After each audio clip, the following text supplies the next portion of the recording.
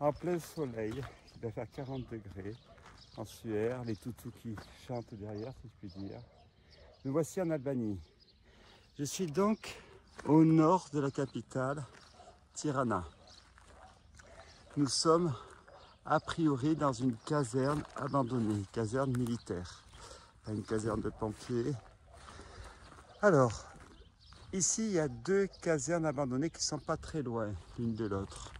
Maintenant, je suis incapable de donner plus d'informations. Sur Internet, on ne trouve pas grand-chose.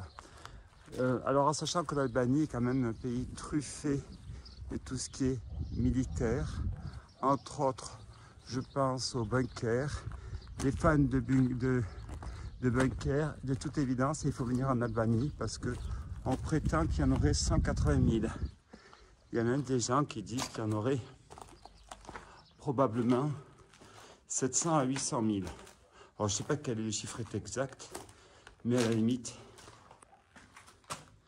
ce n'est pas important. Ce qui est sûr, c'est que vous allez trouver des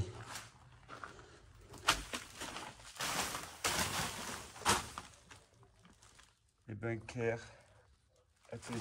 Alors, je commence à avoir des doutes si on n'était pas plutôt dans une imprimerie.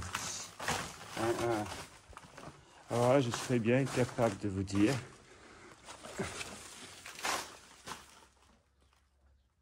Ah, des tanks qui envoient des objectifs. Regardez.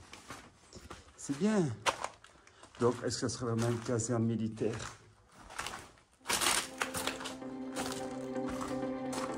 Ah, ici,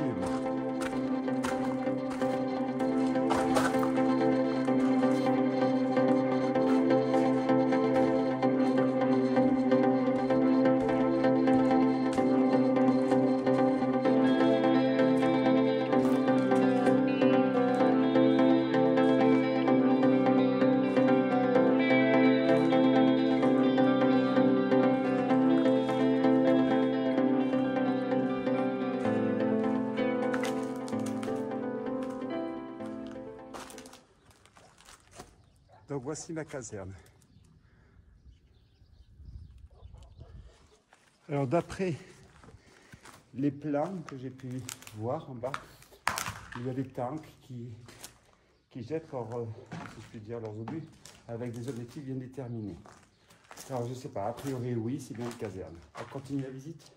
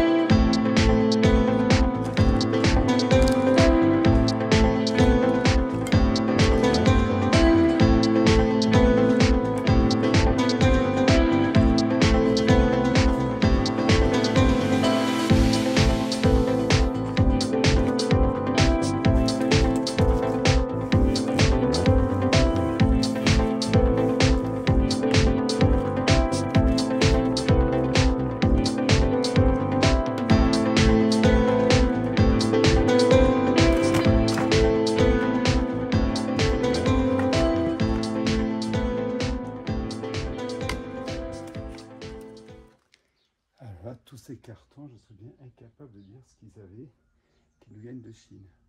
On continue la visite?